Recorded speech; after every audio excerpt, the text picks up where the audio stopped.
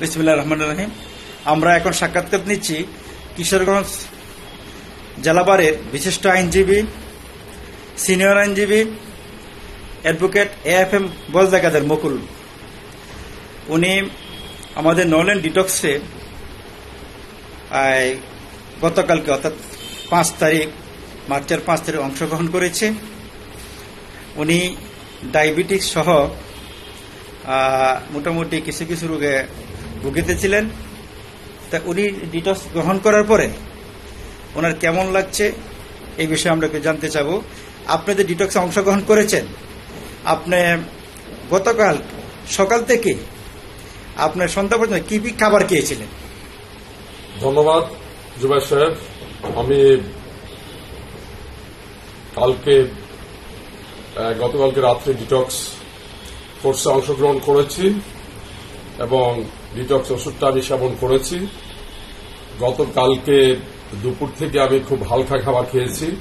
রাত্রে ডিটক্সের ওষুধ খাওয়ার পর থেকে এখন পর্যন্ত পানি ব্যতীত আমি অন্য কিছু খাই নাই।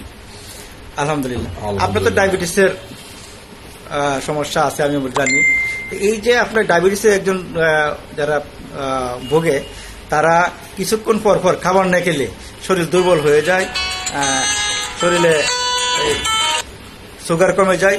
তা আপনি এই যে গতকালকেও সারাদিন হালকা খাবার খেয়েছেন এবং সন্ধ্যা থেকে এখন পর্যন্ত এখন বাজে সকাল দশটায় এখন পর্যন্ত ডায়াবেটিসের কোনো ওষুধ খান নাই।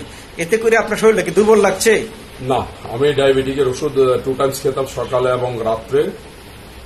ইনশাল্লাহ আল্লাহ রহমতে আমার খাবার না খাওয়ার না খাওয়ার কারণেও ডায়াবেটিসের কোনো সমস্যা এখন পর্যন্ত হয় না আলহামদুলিল্লাহ আলহামদুলিল্লাহ।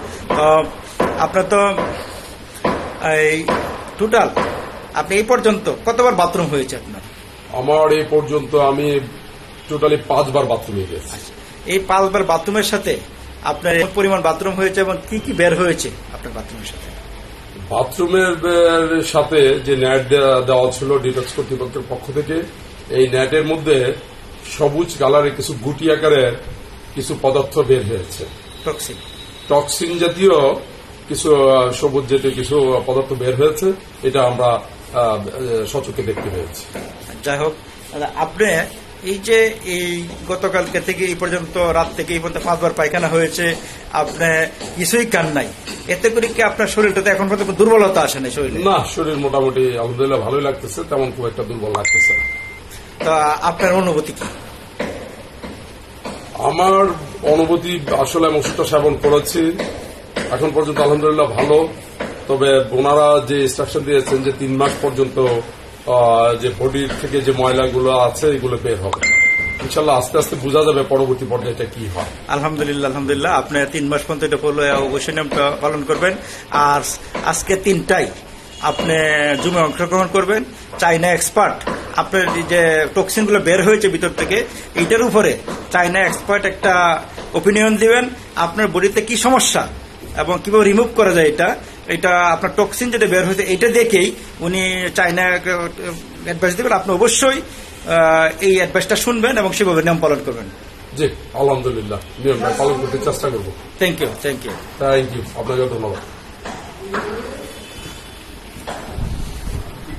না ঠিক আছে ভালো হচ্ছে